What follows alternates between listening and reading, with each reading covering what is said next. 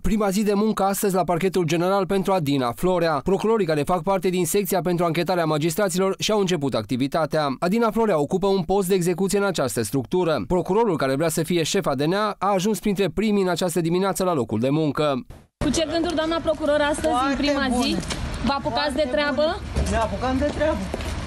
Domnul Lazar v-a pregătit uh, calculatoarele, sălile, tot? Absolut tot. Chiar în prima zi de muncă, Adina Florea a fost propusă să ocupe o funcție de conducere în această secție, mai exact funcția de procuror șef adjunct, iar cererea a fost admisă în cursul după amiezii de conducere a Consiliului Superior al Magistraturii. Adina Florea așteaptă în continuare și decizia președintelui Claus Iohannis pentru numirea ei la șefia DNA. Secția de investigare a magistraților va prelua de la DNA și de la alte parchete dosarele în care sunt implicați judecători și procurori. Secția are competența exclusivă de a efectua urmărirea penală pentru infracțiunile săvârșite de judecători și procurori, inclusiv cei care au calitatea de membri ai Consiliului Superior al Magistraturii și judecătorii și procurorii militari, secția păstrându-și competența de urmărire penală și în situația în care, alături de judecători și procurori, sunt cercetate și alte persoane. Dosarele aflate în lucru la Direcția Națională Anticorupție și la alte unități de parchet, precum și dosarele soluționate până la această dată, care privesc infracțiuni săvârșite de judecători sau procurori, se preiau de către secția pentru investigarea infracțiunilor din justiție. Se precizează într-un comunicat al parchetului de pe lângă înalta curte de casație și justiție. Procurorul general al României, Augustin Lazar, a precizat astăzi că este vorba despre circa 1400 de dosare.